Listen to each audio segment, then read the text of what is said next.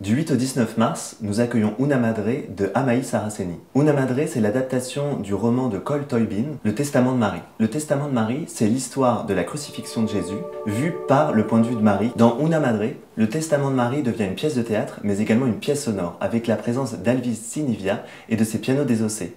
Tout autour de la scène courent des cordes qui relient les pianos entre eux et qui permettent à Alvis de composer en direct la musique du spectacle. Et ce spectacle, il est joué en trois langues différentes, le français, l'italien et le napolitain. Le fait d'avoir trois langues et de la musique, c'est complètement lié à l'histoire d'Amaï, qui vient d'à peu près tous les pays du monde.